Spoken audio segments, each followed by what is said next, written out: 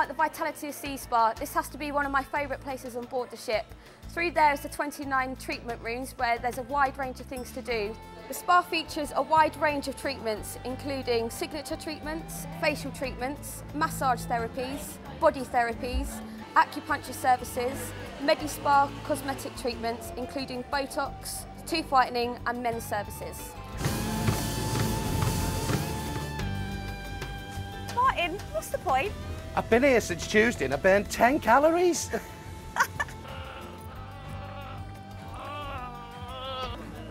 One, two,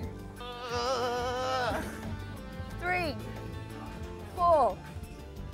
oh, never again. Oh.